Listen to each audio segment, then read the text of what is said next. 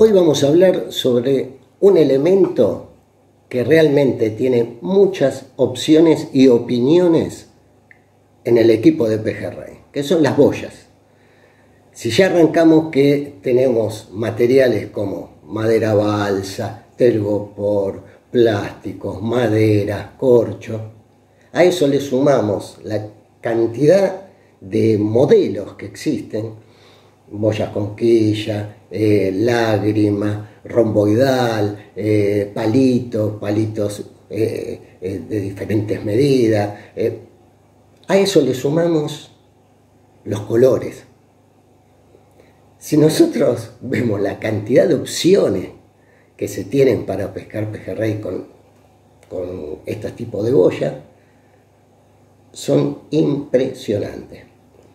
Pero ¿qué sucede? Tenemos un lado que es eh, el técnico, que eso no lo podemos eludir, y otro que es el opcional, que es lo que elige cada pescador. El técnico significa que la boya tiene que tener un formato para que la brazolada y la carnada trabajen naturalmente.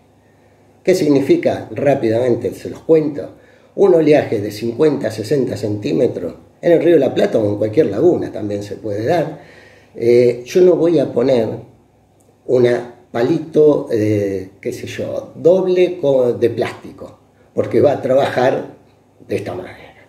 Y la carnada abajo va a ser esto. En cambio, si pongo una línea madera balsa, por ejemplo, con quilla, ahí vamos a tener una línea que trabaje eh, copiando la ola y la carnada va a tener un movimiento natural y lógicamente va a tener más pique que la otra. Esas son las partes técnicas, lo mismo que en el color. El color con un sol de espalda vamos a ver cualquier color. Ahora con un sol de frente vamos a tener que usar los claros, los oscuros.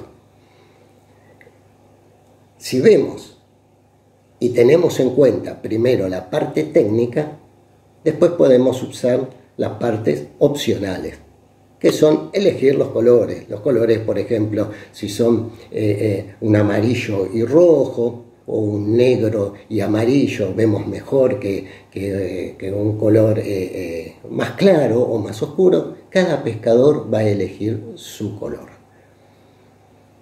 ¿Esto qué nos lleva?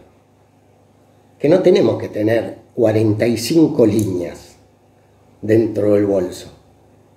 Pero tenemos que tener las que necesitamos en formato y color para cada ocasión.